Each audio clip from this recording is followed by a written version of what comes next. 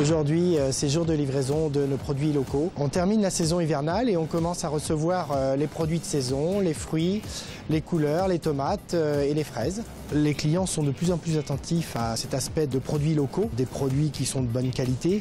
On voit bien que le produit est différent, il a une maturité qui est quand même meilleure que le produit qui est trimballé du bas de la France vers le haut.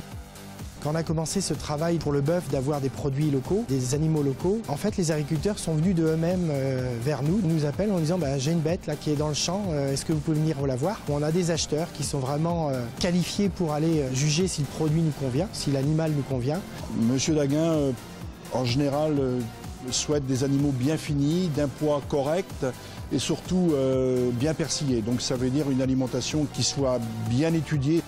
Avec l'éleveur, forcément, nous trions la qualité par rapport aux états d'engraissement et par rapport à l'état de finition.